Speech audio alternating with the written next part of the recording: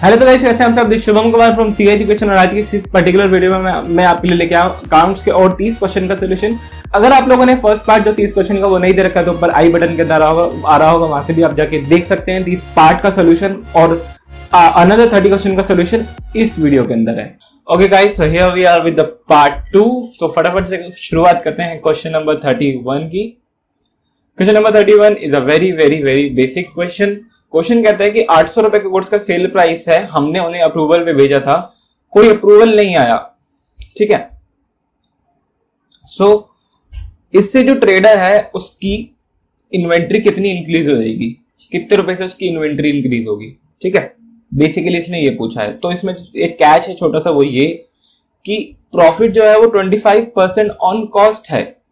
तो it means it is 20 percent on sales it means it is 20% on sales and if it is 20% on sales then first we have to do 800 ka 20% which is nothing but actually 1600 160 sorry 160 um, so now we have to bring it to the cost the sales price of the goods so 800 minus 160 is equals to 240 rupees 640 rupees ठीक है तो basically इसकी जो cost है वो छह सौ चालीस रुपए से बढ़ जाएगी गाइस 32 की ओर बढ़ते हैं. 32 कहता है while finalising the current year profit of the company उस कंपनी को लगा कि पैंतालीस हज़ार का क्लोजिंग इन्वेंट जो स्टॉक है वो ओवर वैल्यू है यानी वैल्यूड मोर है. पिछले साल का क्लोजिंग स्टॉक ओवर वैल्यू हो गया. एक छोटा सा रिलेशन समझा देता हूँ. एक छोटे सा रिलेशन में आपको समझा रहा हूँ यहाँ पे वो बहुत ही इंपॉर्टेंट रिलेशन है आ, ये किस किस के बीच में होता है? ये होता है गाइस इन्वेंट्री और प्रॉफिट के बीच में relation so here we have closing stock मैं अभी स्टॉक लेकर हूँ छोटे की वजह से। आप इन्वेंट्री भी से एज्यूम कर सकते हो और यहाँ हम पे है प्रॉफिट ठीक है guys okay let me change the colour first अगर क्लोजिंग स्टॉक हमने ओवर वैल्यू कर दिया अगर हमने क्लोजिंग स्टॉक को ओवर वैल्यू कर दिया तो जो उसका प्रॉफिट है कंपनी का जो प्रॉफिट है वो भी ओवर वैल्यू हो जाएगा। ठीक है? अगर हमने क्लोजिंग स्टॉक को लेस वैल्यू कर दिया या अंडर वैल्यू कर दिया तो प्रॉफिट भी अंडर वैल्यू हो जाएगा। लेकिन अगर हम बात करें अगर मैं आपसे बात करूँ ओपनिंग स्टॉक की क्योंकि क्वेश्चन जो बनेंगे वो सिर्फ़ इसी को लेके बनेंगे ओपनिंग स्टॉक की और प्रॉफिट के बीच में। सो so, अगर आपने क्लोजिंग स्टॉक ओपनिंग स्टॉक को ओवर वैल्यू कर दिया इससे आपका प्रॉफिट डिक्रीज हो जाएगा। अगर आपने ओपनिंग स्टॉक को अंडर वैल्यू कर दिया तो इससे आपका प्रॉफिट जो है वो बढ़ जाएगा। सो so, कंक्लूजन क्या निकल के आता है इससे कि क्लोजिंग स्टॉक और प्रॉफिट के बीच का जो रिलेशन है मतलब यहाँ मैं रिलेशन बता रहा हूँ वो डायरेक्ट है। मतलब उन दोनों के बीच एक सीधा संबंध है डायरेक्ट रिलेशन है। एक को बढ़ाओगे दूसरा बढ़ेगा दूसरे को घटाओगे पहले वाला घटेगा। लेकिन अगर इन दोनों के बीच की बात करें इन दो महाराजों के बीच की रिलेशन की बात करें अगर हम। सो so, इनके बीच का रिलेशन है वो इनडायरेक्ट है। इनके बीच का रिलेशन गाइस इनडायरेक्ट है ठीक है? इसके अंदर क्या होगा कि अगर आप एक को बढ़ाओगे तो दूसरा घटेगा और दूसरे को बढ़ाओगे तो एक बढ़ेगा ठीक है? सो so, यहाँ पे देखो क्या क्या जा रहा है आपसे। बहुत सिंपल सी आपसे यहाँ पे बात कही जा रही है। पिछले साल की closing stock closing stock overvalue हो गई थी। तो इससे पिछले साल का प्रॉफिट पिछले साल की गाइज़ ओवर वैल्यू हो गया होगा। डायरेक्ट रिलेशन दोनों में होता है। So previous year profit was overstated अभी मैं यहाँ पे लॉक कर सकता हूँ स्टेटमेंट से ए और बी ऑप्शन को। ठीक है? दोनों में आप देख सकते हैं प्रीवियस ईयर प्रॉफिट जो है वो ओवर स्टेटेड दे रखा है। सो so, आगे बढ़े। अगर पिछले साल का प्रॉफिट ओवर स्टेटेड हो जाएगा अगर पिछले साल का प्रॉफिट ओवर स्टेटेड हो जाएगा अब ये तो प्रीवियस ईयर है। अगर करंट ईयर प्रॉफिट की बात करूँ तो वो अंडरस्टेटेड हो जाएगा। Previous year profit previous year profit और करंट ईयर प्रॉफिट में इनडायरेक्ट रिलेशन होता है इनवर्स रिलेशन तो उसमें अंडरस्टेटेड हो जाएगा। सो करंट ईयर प्रॉफिट जो है वो अंडरस्टेटेड गिरी तो मेरा ऑप्शन यहाँ पे सेलेक्ट होता है डी ठीक है गाइस मेरा ऑप्शन यहाँ सेलेक्ट होता है D question number thirty three की अगर बात करें तो क्वेश्चन नंबर थर्टी थ्री कहता है आपसे कि मशीन हमने खरीदी, एक लाख रुपए की उस पर हमने दो परसेंट ब्रोकरेज पे कर दी रिपेयर्स पे पंद्रह सौ रुपए खर्च करे, तीस हज़ार ट्रांसपोर्ट पे और सात हज़ार ट्रायल रन इंस्टॉलेशन एक्सपेंसिस पैंतालीस सौ। ग्यारह महीने बाद एक ऑपरेटिंग और ग्यारह महीने का ऑपरेशन करने के बाद मतलब उस मशीन को चलाने के बाद आठ सौ रुपए का रिपेयर आता है। तो कॉस्ट ऑफ़ मशीन कितना? करके बताऊँ या बताने की ज़रूरत नहीं है, सिर्फ़ एक छोटा सा लॉजिक बता रहा हूँ, वो ये, कोई भी एसेट हो। जब भी उसकी कास्ट कॉस्ट निकालने की बात आती है तो ये स्टेटमेंट याद रखना। ऑन द डे या date of purchase all the expenses will be included in cost मतलब जिस दिन आपने परचेस करा, उस दिन सारे खर्चे जोड़ दिए जाएँगे। अब इन सबको टोटल कर लो अब। इन सबको टोटल कर लो। एक लाख, दो परसेंट पंद्रह, सौ, तीस, ये सॉरी तीस नहीं ट्रांसपोर्ट खर्चा करें तो सबका मिला के आपका जो टोटल आ जाएगा, वो आ जाएगा ये। ठीक है गाइस लेट गेट्स अहेड एक कंपनी ने एक सूट फ़ाइल करा लीगल सूट फ़ाइल करा, एक कॉम्पिटेटिव कंपनी के खिलाफ और क्लेम करा पाँच लाख रुपए की इनफ्रिजमेंट बेनिफिट मतलब उसने कहा कि आपने हमारे पेटेंट राइट को चुराया है। इस वजह से लेके उनने एक क्लेम फ़ाइल कर दिया। सो ये क्या है? ये एक तरीके का कंटीजेंट एसेट है। कंटीजेंट एसेट कौन से एसेट होते हैं? जो हो सकता है हमारे एसेट बने, हो सकता है ना बने। अभी कंटीजेंट क्यों है? इनकम क्यों नहीं है? क्योंकि पक्का नहीं है हम क्लेम जीतेंगे और हो सकता है हम क्लेम हार जाए, इसलिए इसे हम मान लेंगे contingent asset next thirty five when outflow of economic resources to settle down an obligation is not a probable, or the amount expected to be repaid to settle the liability cannot be measured sufficiently reliably as contingent liability. सीधी सीधी define मैंने आपसे जब वो करवाया था revision करवा रहा था अकाउंटिंग प्रोसेस वगैरह की तो मैंने आपको कहा था कि ये इसकी डेफिनेशन ही पूछेंगे और डेफिनेशन ही पेपर में पूछ ली। Fluctuating capital is credited by all of the अब फ्लक्चुएटिंग कैपिटल क्या होती है? देखो पार्टनरशिप के अंदर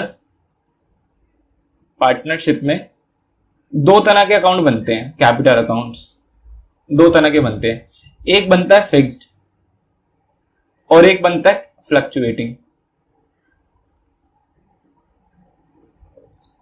ठीक है? फिक्स्ड कब बनता है? फिक्स्ड कब बनता है जब सारे पार्टनर ये कहें कि हम अपनी कैपिटल को ऑल द टाइम रिजिट रखेंगे। या मैं लिख सकता हूँ इंटैक्ट रखेंगे। या मैं लिख सकता हूँ अनचेंज्ड रखेंगे। अनचेंज्ड ठीक है? हम अपनी कैपिटल को ऐसे रखेंगे। लेकिन इसमें क्या है कैपिटल फ्लक्चुएट होती रहती है। अगर फिक्स्ड कैपिटल अकाउंट बन रहे हैं तो हम एक अलग से profit and loss appropriation account बना करके ये सब काम करते हैं।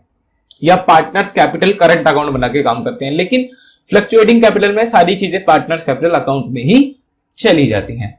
थर्टी सेवन की अगर हम बात करें interest on capital account paid to the partnership provided agreement agreement में लिखा है, हम इंटरेस्ट ऑन कैपिटल पे करेंगे, लेकिन सिर्फ़ किसमें से करेंगे? सिर्फ़ करंट ईयर प्रॉफिट में से करेंगे।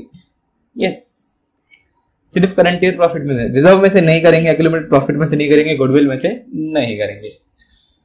अगला question P N Q R थोड़ी सी टाइपिंग मिस्टेक है। P N Q R partners in a firm profit sharing losses three ratio two उनकी कैपिटल है डेढ़ लाख डेढ़ लाख और एक लाख रेस्पेक्टिवली कैपिटल एक admitted R it's not O R वाला R it's R R as a partner with capital of ninety thousand और उन्होंने एक बात और लिख दी कि उन्होंने जो अदर पा, पार्टनर की जो कैपिटल है उसको न्यू पार्टनर कैपिटल के साथ एडजस्ट करना है। फिर उन्होंने लास्ट में पूछ लिया कि बताओ कितना कैश पी पार्टनरशिप फर्म में लेकर आएगा? कितना कैश पी पार्टनरशिप फर्म में लेकर आएगा? ये लो, ठीक है? तो सबसे पहले आपको करना क्या है न्यू पार्टनर की कैपिटल से total capital of the firm calculate कर लेनी है। वो कितनी हो जाएगी total capital of the firm ninety thousand को फोर से मल्टीप्लाई कर हम कर दें, आता है ना ये तो करना। एग्ज़ाम का सोल्यूशन देख रहे हो तो आपको आता ही होगा। तीन लाख साठ हज़ार total capital of the firm अब हम कैलकुलेट करेंगे NPR new profit sharing ratio. वो अगर वन फोर्थ शेयर में आ रहा है तो टोटल वन फोर माइनस ये equals two three by four यही तो करते थे हम लोग, ठीक है? और ये रहा P, ये रहा Q और ये रहा R P का शेयर कितना है? Three by five multiplied by three by four इसका share two by five multiplied by three by four और इसका शेयर कितना हो जाएगा? वन बाय फोर क्योंकि इसको यही तो मिला है, इसका खाली इनको जरा सिंप्लीफाई कर लो। नाइन बाय वट ट्वेंटी, इधर सिक्स बाय ट्वेंटी और इधर वन बाय फोर को अगर ट्वेंटी के टर्म्स में लाना है तो हमें फाइव से मल्टीप्लाई करना पड़ेगा, यानी फाइव बाय ट्वेंटी तो हमारी एनपीआर कितनी बन जाएगी? गाइस हमारी एनपीआर बन जाएगी nine ratio six ratio five ठीक है? अब आपको करना क्या है बेसिकली जो तीन लाख साठ हज़ार है, उसमें से पी का हिस्सा कैलकुलेट कर लो। तीन लाख साठ हज़ार, तीन लाख साठ हज़ार divided by twenty multiplied by nine ठीक है? उसका हम हिस्सा कैलकुलेट कर लेते हैं। ज़ीरो से ज़ीरो कट गया, इधर आ गया अट्ठारह हज़ार, का आंसर आ गया एक लाख बासठ हज़ार। मतलब उसकी जो कैपिटल है वो एक लाख बासठ हज़ार होनी चाहिए पी की। लेकिन पी कैपिटल कितनी है? डेढ़ लाख रुपए। तो हम उससे क्या कहेंगे? भाई बारह हज़ार रुपए घर जाओ और लेकर आओ। Simple thirty nine. Outgoing partner को कंपेंसेशन दिया जाता है फ्यूचर प्रॉफिट के साथ मिलाने के लिए। किस रेशियो में देते हैं वो? ये रहा, एक मिनट किस रेशियो में देते हैं? उसे हम गेनिंग रेशियो में देते हैं। उसे हम गेनिंग रेशियो में देते हैं, ठीक है? टॉम एंड जेरी और पार्टनरशिप हम sharing profit and loss in in the ratio three ratio two Tom की कैपिटल एक लाख सत्तर हज़ार है जेरी की पचास हज़ार है। उन्होंने शिवा को वन फिफ्थ पार्टनर बना के ला रहे हैं। तो बताओ कि अमाउंट शिवा कितनी लाएगा फॉर्म में शिवा, सबसे पहले इस क्वेश्चन के अंदर आपने क्या कैलकुलेट करनी है? New profit sharing ratio NPSR मैंने गलत लिख दिया। एनपीएसआर कैलकुलेट करेंगे। वन फिफ्थ है अगर तो one minus one by five which is equals to four by five okay Tom Jerry Shiva ये तीन लोग हैं। टॉम का share three by five multiplied by four by five two by five multiplied by four by five और इस बाई का तो simple simple one by five इसको सिंप्लीफाई करें तो ट्वेल्व बाय ट्वेंटी फाइव इसको सिंप्लीफाई करें तो एट बाय ट्वेंटी फाइव और इसको कर ले तो फाइव बाय ट्वेंटी फाइव ठीक है? मतलब न्यू प्रॉफिट शेयरिंग रेशियो कितनी आ जाएगी? Twelve ratio eight ratio five इतनी आ गई? न्यू प्रॉफिट शेयरिंग रेशियो ध्यान से देख लो, ठीक है? हमें करना क्या है? इसके अंदर से, अब ध्यान से देखना। Total capital of the firm कितनी है? ये एक लाख सत्तर हज़ार नहीं है गाइस ये मुझसे टाइपिंग एरर है। ये सिर्फ़ सत्तर हज़ार है। ठीक है? Total capital of the firm कितनी है? टोटल कैपिटल टोटल कैपिटल है गाइस एक लाख बीस हज़ार। अभी तक की बता रहा हूँ, और एक लाख बीस हज़ार कितने शेयर के लिए टोटल ट्वेंटी शेयर के लिए ट्वेंटी शेयर बारह और आठ, बीस शेयर के लिए। तो divide by twenty multiplied by five multiplied five क्या? शिवा का शेयर निकालेंगे। अरे, ध्यान से सुनो। न्यू पी एस आर कितनी है? बारह, आठ, पाँच। ठीक है? Total capital of the firm existing कितनी है? एक लाख बीस हज़ार। तो जो दो पार्टनर हैं, जो एग्जिस्टिंग दो पार्टनर हैं, वो दोनों पार्टनर ट्वेंटी शेयर लेके बैठे हुए हैं। देखो, वो दो पार्टनर ट्वेंटी शेयर लेके बैठे हुए हैं। ये दो पार्टनर है। ये रहे, ये टॉम और ये जेरी ठीक है? ये दो पार्टनर ट्वेंटी शेयर लेके बैठे हुए हैं। कैसे ट्वेंटी शेयर बारह और आठ, बारह और आठ।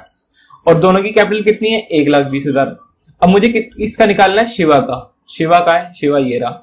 मुझे शिवा का शेयर निकालना है। शिवा का शेयर निकालने के लिए मैं सिंपल सिंपल ट्रिक क्या यूज़ कर रहा हूँ? एक लाख बीस हज़ार जो टोटल कैपिटल है उसको फॉर्म के टोटल शेयर से डिवाइड कर दिया और मल्टीप्लाई कर दिया न्यू पार्टनर के शेयर से। किससे मल्टीप्लाई कर दिया? न्यू पार्टनर के शेयर से। तो उससे मेरे पास क्या आ गया? आ, ये कट जाएगा आंसर आ जाएगा thirty thousand guys thirty thousand X Y Z are partners in a firm sharing profit and losses five zero four ratio three तीस नौ सोलह को जेड की मृत्यु हो गई। 2016-17 का प्रॉफिट चालीस हज़ार है। जेड का शेयर कितना? इसमें सिंपल आप लोगों को पता करना क्या होता है? अप टू द डेट हमको प्रॉफिट देना होता है। हम सिर्फ़ वही दे देंगे। Up to the date up to the date हम इसको प्रॉफिट देके बेदखल करेंगे यहाँ से। वो कैसे करेंगे?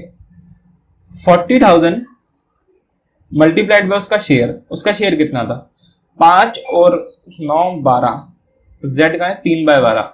Three by twelve multiplied by, ठीक है? Three by twelve multiplied by तीस नौ को उसकी डेथ हो रही है तो हम अज्यूम करें कि इकतीस मार्च का ईयर रहा होगा। तो हाफ़ ईयर की डेथ हो रही है तो सिक्स बाय ट्वेल्व ठीक है? तो इसका आंसर आ जाएगा आपका, कितना आ जाएगा guys five thousand rupees that's it question आपका फिनिश ये रहा आंसर फाइव थाउज़ेंड रुपीज़ 42 की अगर हम बात करें X Y are partnership of हम sharing profit and loss in the ratio three ratio two Z was admitted as a new partner for one fifth share of the future profit that take is entire share from X only guys ये जो question number forty two है ना, इसका answer वैसे तो आ रहा है to to one लेकिन मुझे इसका आंसर टू टू वन नहीं आ रहा। मैं आपको सॉल्व करके दिखा रहा हूँ, अगर आपको गलत लगे तो कमेंट बॉक्स में बताना ज़रूर कि ये मेरा गलत क्यों है। देखो वन फिफ्थ शेयर पे वो आ रहा है। तो हम अगेन हर बार कितना करने वाली चीज़ कर लेंगे? One minus one by five which is equals to four by five अब वो एक चीज़ और कह रहा है कि वो अपने सारा शेयर जो है वो एक्स से ले रहा है। ठीक है? तो ज़ाहिर सी बात है फोर बाय फाइव को हम सिर्फ़ एक्स से मल्टीप्लाई करेंगे। एक्स वाई एक्स से मल्टीप्लाई करेंगे, यानी three by five multiplied by four by five और वाई का शेयर इंटैक्ट रहेगा, यानी कि टू बाय फाइव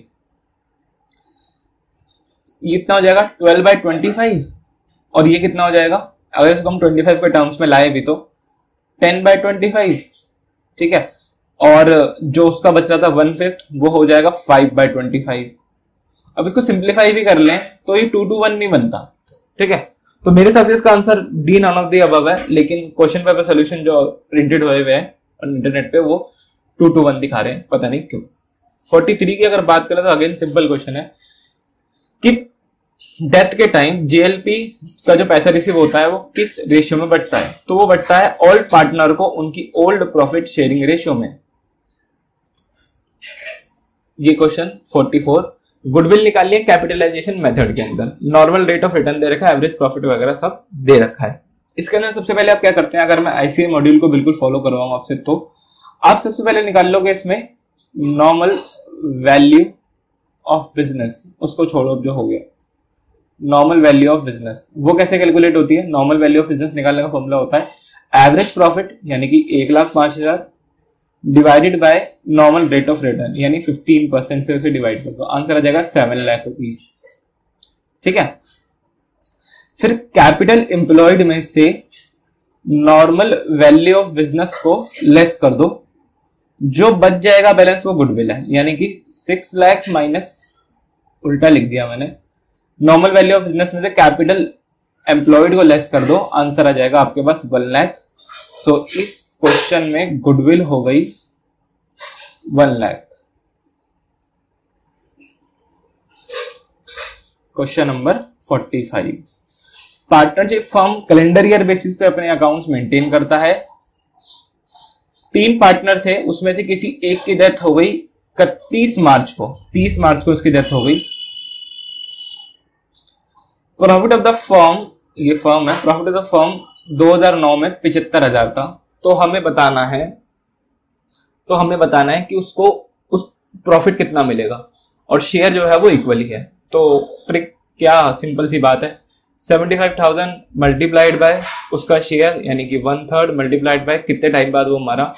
तो यानी कि तीन महीने बाद वो मरा, पूरा तीन महीने करके थ्री बाय ट्वेल्व अगर आप सॉल्व करोगे तो कितना आएगा? आई थिंक इसका मैंने कैलकुलेट नहीं करा हुआ। आप चाहे तो सॉल्व कर लेना, जो आएगा वही मेन आंसर है। ठीक है? अच्छा हाईलाइटेड है।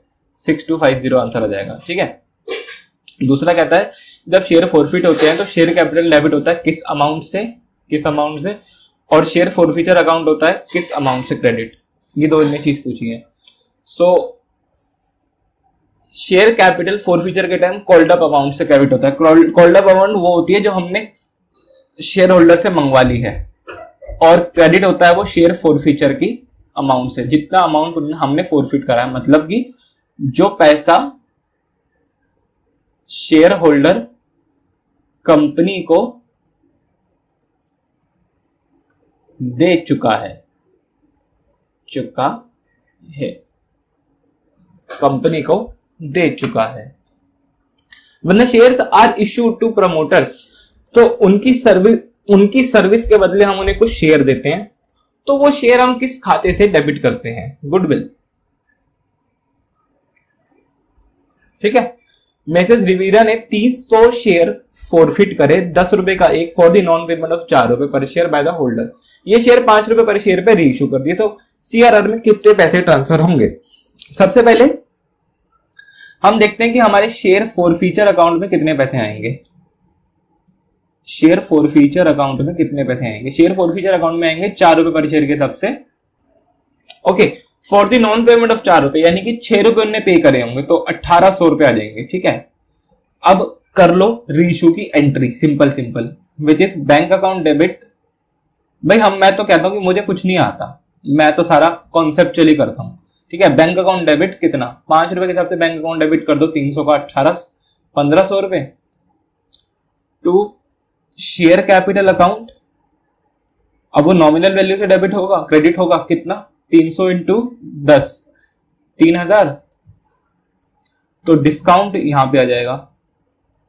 डिस्काउंट अकाउंट डेबिट पंद्रह सौ रुपए। अट्ठारह सौ कमाए, पंद्रह सौ का डिस्काउंट दे रहे हो तो तीन सौ रुपए का प्रॉफिट नहीं हो गया। ठीक है? फोर्टी नाइन की अगर हम बात करें, कंपनी ने तीन हज़ार शेयर फोरफिट करे हैं। दस रुपए का एक शेयर था, तीन रुपए पर शेयर जो था, वो नॉन पेमेंट था, ठीक है? ऑन विच कंपनी ने which is company called up not called up ये नाइन नहीं है गाइज़ तीन रुपए पर शेयर मतलब कंपनी ने मंगाया नहीं वो ये कहना चाह रहा तो सात रुपए पर शेयर ही हमने मंगाया था। ओहो, समझ आ गया। टाइपिंग एरर नहीं है वो। अब यहाँ से लगाइए मेन में, ठीक है? या पूरा क्वेश्चन दोबारा लगा ले। Okay a company has forfeited three thousand equity share ten rupees का एक, तीन रुपए पर share for the non payment of तीन रुपए पर शेयर लेकिन कंपनी ने नौ कॉल्ड अप करे थे। तो वो पूछ रहा है कि ऑन फोर फीचर पे शेयर कैपिटल अकाउंट कितने से डेबिट होगा? तो आपको पता होना चाहिए गाइस फोर के time share capital account called up amount से डेबिट होता है। अब कॉल्ड अप अमाउंट इसमें कितनी है? नाइन रुपीज़ इंटू तीन हज़ार कितना? सत्ताईस हज़ार। सत्ताईस हज़ार। ठीक है? अगर डिबेंचर को हम एज अ कोलेटरल सिक्योरिटी जमा करा दें तो एंट्री क्या होगी? Debenture suspense account debit to debenture account क्यों? सिंपल एंट्री को बहुत बार कर चुके बताने वाली बात नहीं है। Discount on issue of share is a capital loss वो एक कैपिटल लॉस है और जब तक डिवेंचर की लाइफ होती है, तब तक हम उसे इक्वली राइट ऑफ़ करते हैं। डिवेंचर की टोटल लाइफ में हम उसे इक्वली राइट ऑफ़ करते हैं। टेन का मतलब होता है total life period 52 following can be utilise for redemption of preference shares proceeds from fresh equity shares देखो, आप लोगों ने एक चीज़ पढ़ी थी कि शेयर की जो प्रेफरेंस शेयर्स हैं, उनको शेयर के पैसे से ही कर सकते हैं। हम डिवेंचर और एफडी नहीं उठा सकते। ठीक है? कंपनी इशूड छह हज़ार। कंपनी ने छह हज़ार वो इशू करे डिवेंचर इशू करे दस परसेंट वाले, सौ रुपए का एक। हर एक को दस परसेंट के डिस्काउंट पे कर दिए। पाँच साल बाद पैसा वापस कर देगी, पाँच परसेंट प्रीमियम लेके। टोटल लॉस बताओ डिवेंचर इशू करने पे कितना रहा। सो गाइस एक कंपनी के लिए डिवेंचर इशू करने पे लॉस क्या है? एक कंपनी के लिए लॉस क्या है? लॉस उसके लिए दो आइटम होंगे। एक जो उन्हें डिस्काउंट इशू करा है इशू के टाइम पे, और एक जो उसने प्रीमियम पे करा है, वो उसके लॉस होगा। आप कहोगे क्या इंटरेस्ट लॉस नहीं होगा? नहीं इंटरेस्ट ना एग्जैक्टली लॉस नहीं होगा। क्योंकि वो तो एक रिवॉर्ड है आपका पैसा इस्तेमाल करने का। ठीक है? हम आपका पैसा रख रहे हैं, इसलिए हम आपको इंटरेस्ट पे कर रहे हैं। प्रीमियम और डिस्काउंट प्योरली लॉस है। प्योर लॉस किस तरीके से? क्योंकि वो तो ना आपका पैसा आपका पैसा उठाने के लिए हमने पैसे दे रहे हैं। ठीक है? वो नेट लॉस है। डिस्काउंट कंपनी कितना दे रही है? सिक्सटी थाउज़ेंड का देखो गाइस डिस्काउंट दे रही है कंपनी कैसे दे रही है सिक्सटी का डिस्काउंट टेन परसेंट के हिसाब से। और रिडेम्पशन के टाइम में पाँच परसेंट प्रीमियम दे रही है, यानी कि तीस हज़ार रुपए प्रीमियम दे रही है। अब दोनों को जोड़ लें तो नेट लॉस हमारा आ जाएगा ninety thousand rupees that's all fifty four की बात कर लेते हैं। मेसर मिसिज एक्स लिमिटेड ने एसेट ले लिए चार लाख साठ हज़ार के लाइबिलिटी ले ली तीस हज़ार रुपए की ऑफ़ मिसेस अब जो भी है एमआरएस के, ठीक है एमआरएस लिमिटेड के। परचेज कंसिडरेशन को कहते हैं? चार लाख चालीस हज़ार। कंपनी इशू करती है दस percent debenture of hundred rupees इस टेन परसेंट प्रीमियम है यहाँ पे। वर्ड यहाँ मिसिंग है। Ten percent premium towards of purchase consideration तो बताओ वो डिवेंचर कितने इशू करेगी? सबसे पहले हम निकाल लेंगे यहाँ पे नेट एसेट्स की वैल्यू वैसे वो इरेलीवेंट है इसके लिए, लेकिन मैं फिर भी निकालने सिखा रहा हूँ। जो कि होती है asset minus liability asset minus liability चार लाख साठ हज़ार माइनस तीस हज़ार। यानी कि कितना आ गया आंसर? चार लाख तीस हज़ार। चार लाख तीस हज़ार। अब सुनो परचेज कंसिडरेशन कितना है? चार लाख चालीस हज़ार। परचेज कंसिडरेशन चार लाख चालीस हज़ार। इसको डिवाइड कर दो एक डिवेंचर की कॉस्ट से। कितना? ग्यारह रुपए कॉस्ट आ रही है एक डिवेंचर की। ध्यान से देखा जाए तो ग्यारह रुपए आ रही है। सॉरी एक सौ दस, ग्यारह रुपए कराऊँगा एक सौ दस आ रही है। क्यों? टेन परसेंट प्रीमियम है ना। ज़ीरो ज़ीरो कट गया, कितने आ गए? चार हज़ार डिवेंचर हमें इशू करने पड़ेंगे। या वो कंपनी करेगी। कुछ भी कह सकते हो। प्रेफरेंस शेयर पचपन क्वेश्चन प्रेफरेंस शेयर चार लाख व redeem at a premium two percent ठीक है?